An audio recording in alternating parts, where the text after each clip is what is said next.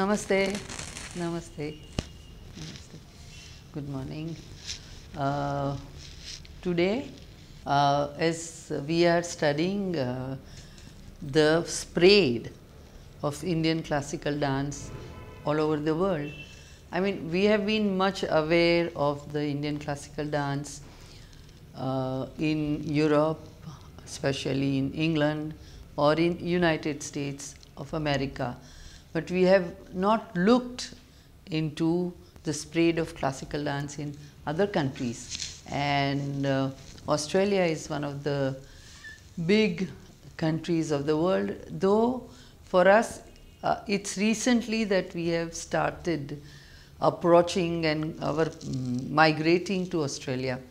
So, mm, let us study today the Indian classical dance spread in Australia.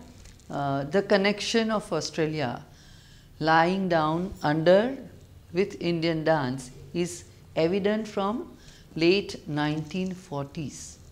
It was then that the Australian audiences were exposed to the highly stylized features of Indian dance and themes of Hindu mythology and the epic legends of the Ramayana and Mahabharata that are commonly exposed and expressed through dance.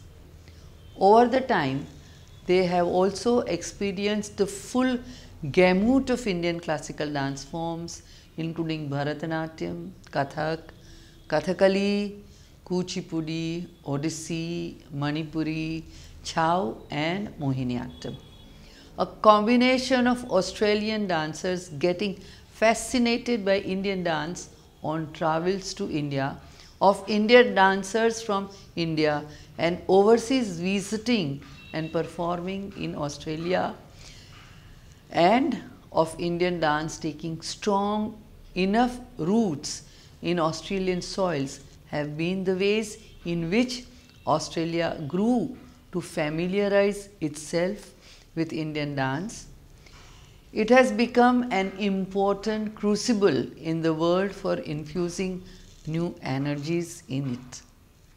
Australian dancer Louise Lightfoot was born in 1902 in Victoria and was initially trained to be an architect. Yes, she moved to dance at a mature age and became a significant artist, artistic presence in Australia. She ended up playing a critical role in the revival of Kathakali and Manipuri forms and in and outside of India. In 1937, she visited London and Paris, securing the rights to perform a number of new ballets including the Diaghilev's Blue God. Lightfoot took classes with experts in modern, Spanish and what was known as Hindu dance. She was particularly impressed by the performance of Uday Shankar's troupe and told the Women's Weekly that she intended to create a new Indian ballet on her own on return to Australia. A two week stopover in India extended to five months as she travelled to Kerala, Kerala Kalamandalam where she began study of the complex traditions of Kathakali. After returning to Sydney early 1938 and producing her own authentic version of the Blue God, in the next half decade she lived in Kerala and Tamil Nadu, learning the different techniques of the sacred dance styles Kathakali and Bharatanatyam, keeping herself by teaching classical ballets to children of the Raj. She became a great publicist of Indian dance, despised or ignored by Indian high culture, organized tours by dancing troupes in South India and Sri Lanka, worked with filmmaker K. Subramaniam at Madras and published widely in the Indian press. Louis Lightfoot in 1947 brought the young Kathakali dancer Shivaram to Australia and trained a group of Australian dancers to work with him. Next year, they introduced Kathakali dance to the British stage. In 1949, for the Australian National Theatre, she presented Shivaram in a ballet of her own design, Indra Vijayam, and in 1950, he again toured successfully. Performances in Japan, the United States of America, and Canada more often took the form of lecture demonstrations in universities and galleries, with Lightfoot providing commentary. Shivram made a series of visits to Australia uh, in the last year in 1976. In 1951, Lightfoot had gone to the mountain state of Manipur to learn a third tradition of sacred dance. Here she discovered and popularized a form older than the Hindu traditions. She published a monograph, Dance Rituals of Manipur, in 1958. Her recordings of the songs and ritual music was released in the American Ethnic Folkways series in 1960 as the Ritual Music Manipur. Louis Lightfoot organized Australian, Japanese and North American tours for dancers and drummers from Manipur and Kerala. From the late 1950s, she worked with Shivaram to establish an Indian dance school in San Francisco, USA. From 1965, she lived and worked at the Yoga Ashram of Swami Vishnu Devananda in Montreal, Canada. Lightfoot never married. In 1968, she retired to Oakleigh, Victoria, where she continued to train dancers in the Indian style. She died on May 18, 1979 at Melbourne and was buried in the New Cheltenham Cemetery. The Cochin Indian Express lamented the death of Kathakali Australian mother. She first visited India in 38 and spent considerable time there studying dance. Uh, Louis organized tours by Kathakali dancer Anand Shivaram throughout India and also to Australia in 1947 and 74. Billed as the first Indian dancer to visit Australia, Shivram's performances were extremely influential, as were the classes that he conducted with local dancers. Lightfoot also staged her own Indian inspired productions in Australia and was responsible for Australian tour of a Manipuri troupe in 1957.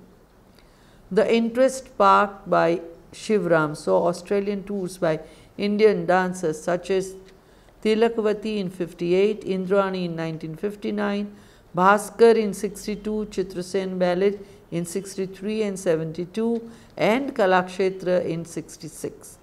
A Government of India cultural delegation titled Indian Song and Dance Theatre also toured in 62. Indian dancer Jyotikana Ray was also active in Australia during this time with productions titled Mystic Dances of India 1955 and Light of Asia 57 involving dancers from the Bodenweiser Company.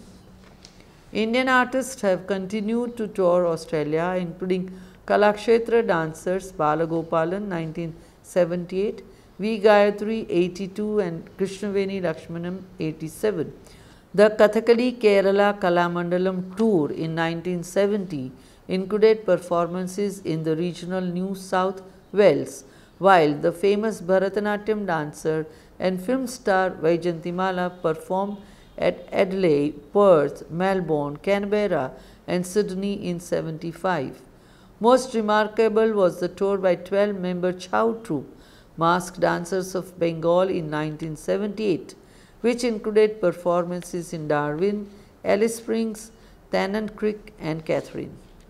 More recently, Australian audiences have experienced performances by renowned Indian dancers such as Daksha Sheth, Mallika Sarabhai, Solan Mansi, Birju Maharaj and late Sanyukta Panigrahi. As well as performing traditional dance, Daksha Sheth has choreographed contemporary works in collaboration with Perth musicians and dancers in the uh, project. Mallika Sarabhai has also created contemporary works to the music of Australian composer Roger Smalley, Kathy Travers and David Pye. In the 1970s and 80s, increased migration from Asia saw a number of professional Indian dancers settling in Australia as well as exponential growth in the number of Indian classical dance schools. Melbourne based dancer Chandrabhanu studied Odissi and Bharatanatyam in India. Dr. Chandrabhanu was born in Kangar, the capital of the northernmost Malaysian province of Perli.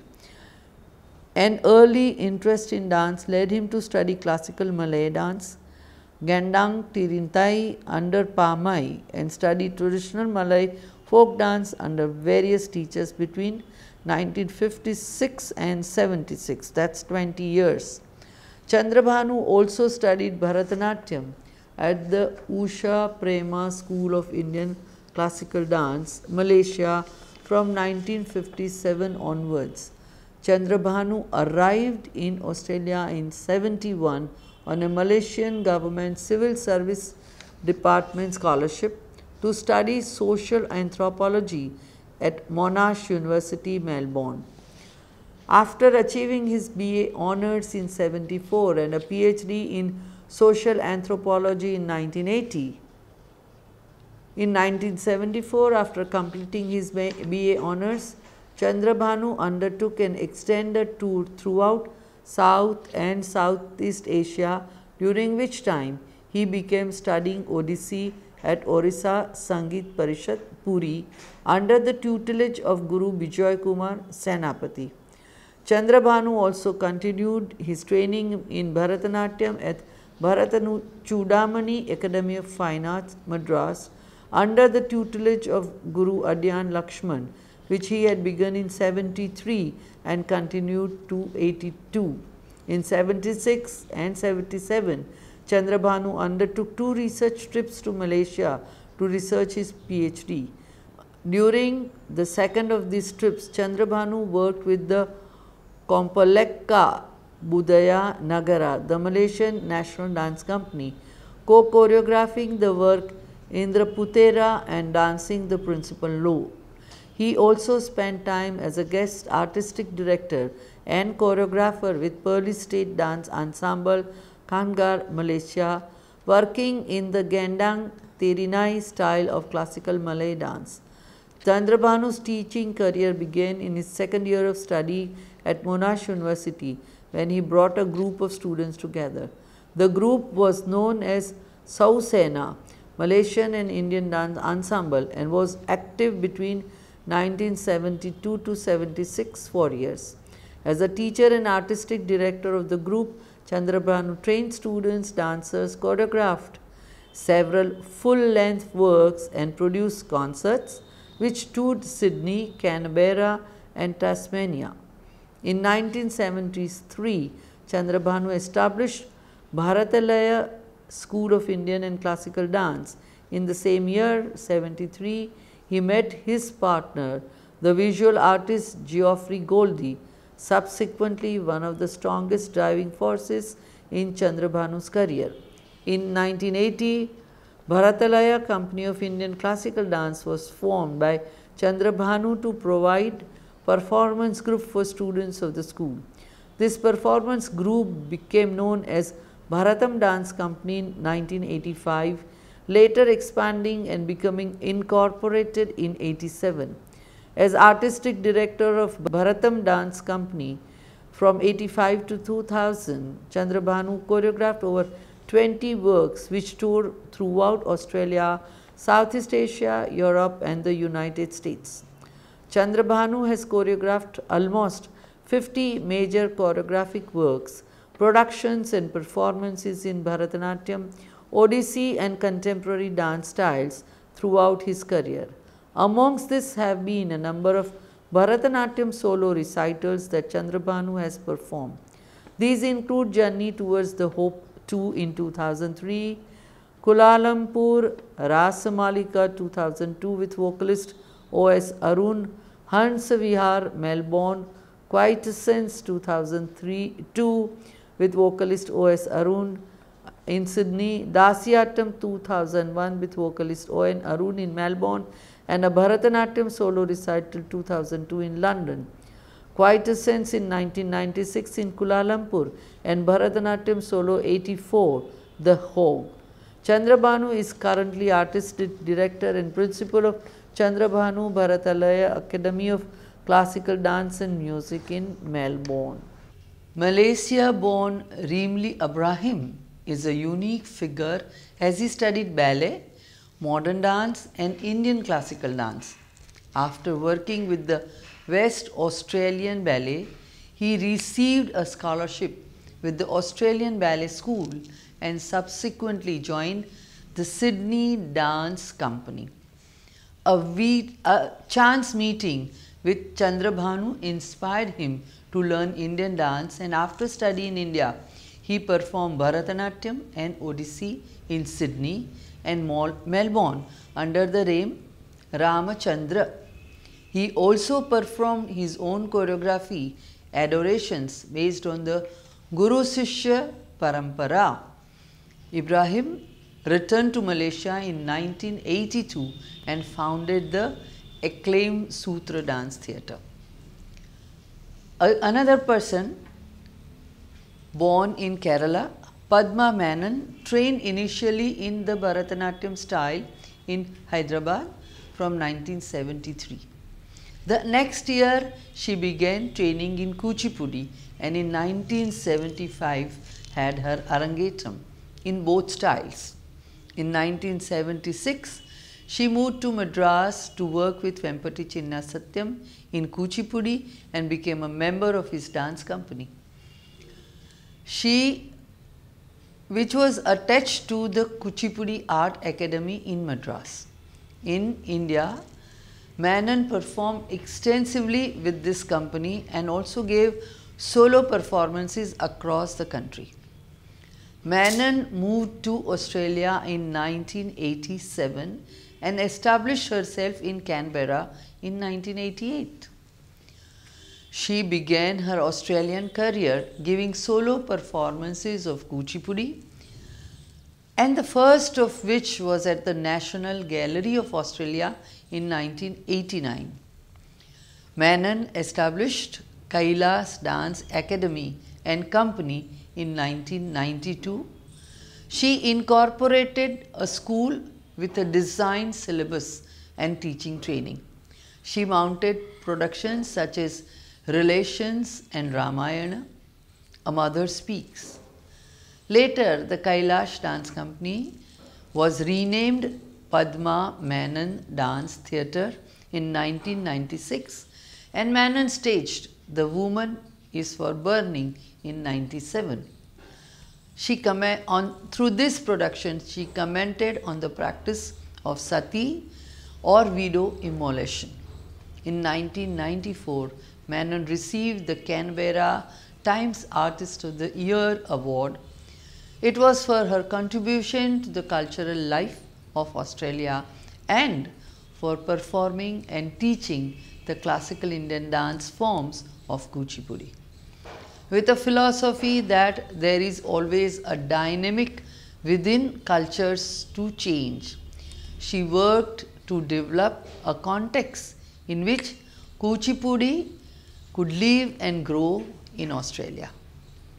She employed Anglo-Australian as well as Indian Australians in her company and toured twice to India with her cross-cultural works.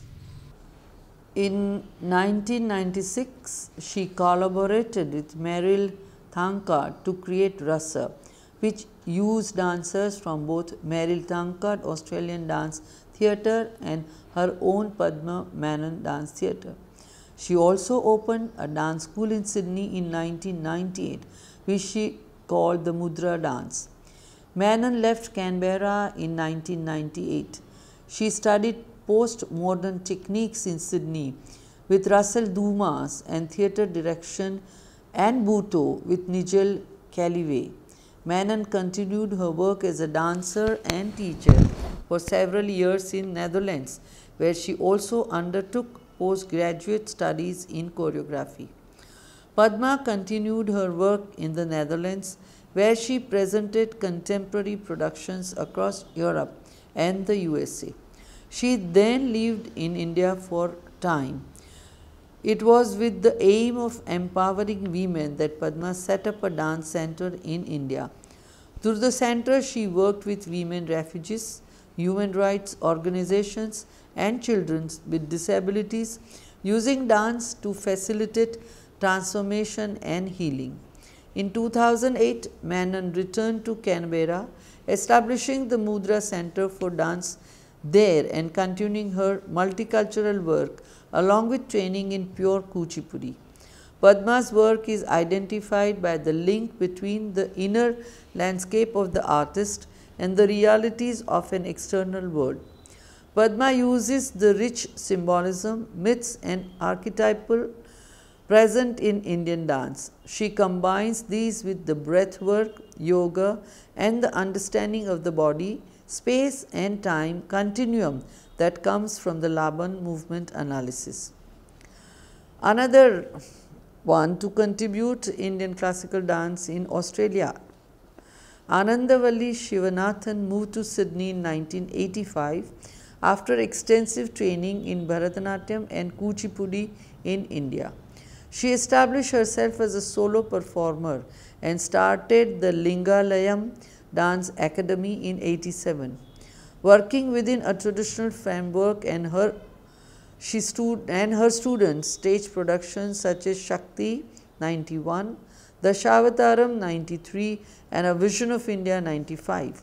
In 96, she formed Lingalayam Dance Company performing works including Shivastuti 96, The Divine Flutist 97 and Earth and Fire 2003.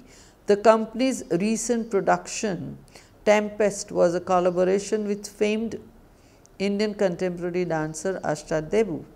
A small collection of programs relating to Sydney based Indian dancer Anandavalli and her Lingalayam Dance Company uh, is included in the program of the concert given in London are the part of the collection of National Library of Australia. Tara Rajkumar is an exponent of Kathakali and Mohiniyattam.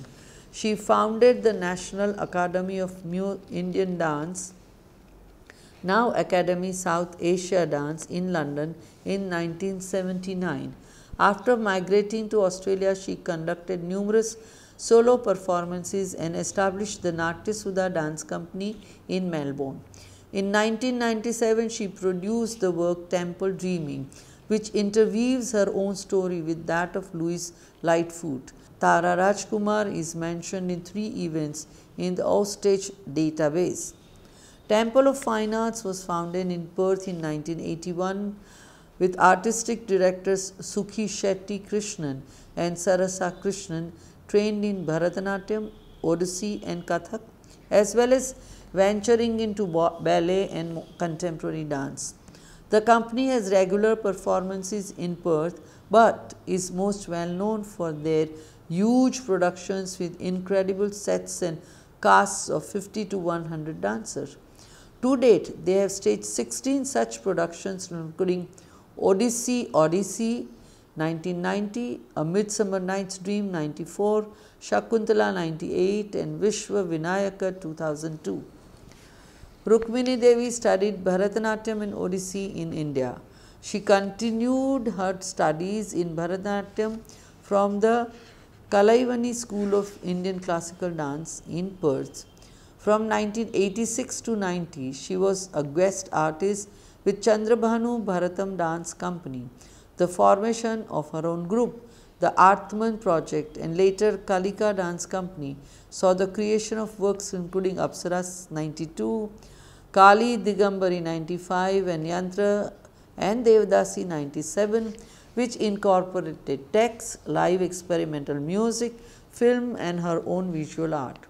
Her solo productions include The Virtual Goddess 98 and Mindimi 99 Relocation to Sydney in 2000 has been a continuation of her iconoclastic style of Indian influenced contemporary dance, often with the themes of women in society. The Odissi Dance Company was founded in Sydney in 92 by Nirmal Jena and Chitrita Mukherjee. Nirmal Jena is son of Surendranath Jena, a recognized expert in the ancient Odissi dance form. These professional artists all have common threads running through their careers. They have all received training from the great masters of India such as Adyar K. Lakshman, Vempati Chinna Satyam, Sanyukta Panigrahi, Birju Maharaj and Deba Prasad Das, ensuring a continuation of technique and style and an understanding grounded in a classical tradition. Their imagination along with the influence of the contemporary dance and learning of it has led to experimentation and then emergence of a fusion of styles. They teach and employ dancers from a diverse range of cultural backgrounds and many have taught their work back to India with critical acclaim. Each has been effective in articulating their art form, making Indian dance more accessible to Western audiences.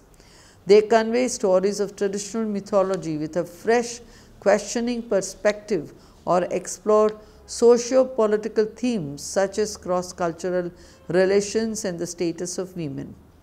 The continuing dialogue between Indian dance artists and their contemporaries has meant that the art form has not stagnated. These interactions continue to contribute to the development of contemporary dance in Australia. Today, Indian dance in Australia, apart from being represented by numerous professional dance artists and companies, dance schools, amateur community groups, is also marked by the increasing mainstream popularity of Bhangra and Bollywood. Bollywood, the world's largest and the most vibrant movie industry, has an old association with Australia. Fearless Nadia was Australian Mary Ann Evans. Even Bob Christo, the English villain in many movies, was from Australia. But since the 1990s, particularly the connection between Australia and Bollywood has really taken hold. In the 90s, Bollywood emerged post economic liberalization of India as a strong globalized industry and India's biggest cultural ambassador to the world. The Jhoom World Bollywood Dance Company of Melbourne promotes and celebrates Bollywood style and color through dance in Melbourne.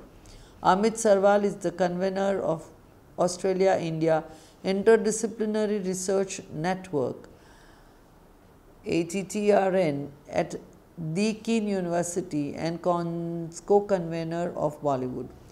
The National Library of Australia has turned out to be a big repository of the history of Indian dance in Australia. It houses documents from Indian dancers in Australia and visiting groups of Indian dancers.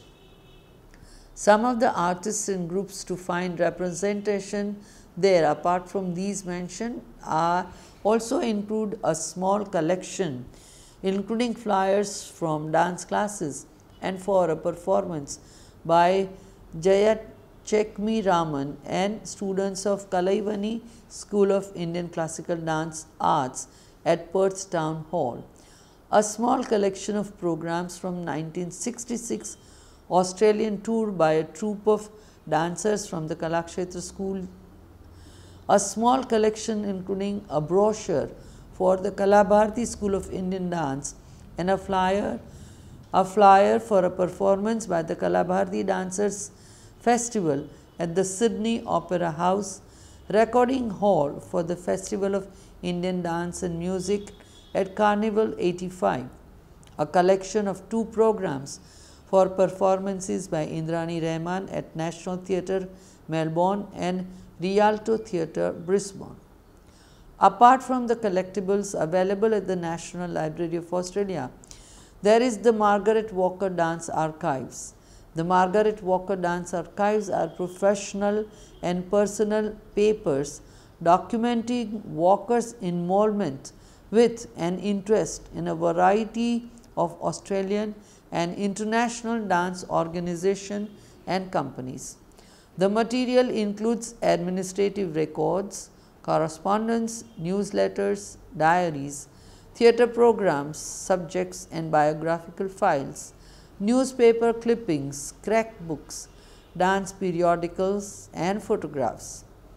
Companies and organizations represented in the collection include the Borovansky Ballet, Ballet Russe Entrant Theatre, Australian Dance Theatre, Australian Elizabethan Theatre Trust, Ballet Australia, Ballet Victoria, Berioska Dance Company of Russia, Canberra Dance Theatre Dance Works, Kolobok Dance Company, One Extra Dance, Unity Dance Group, Australian Association for Dance Education, now known as AusDance, Kalabharati School of Indian Dance and Walker's own groups of dance concert and the Margaret Walker Folk Dance Center.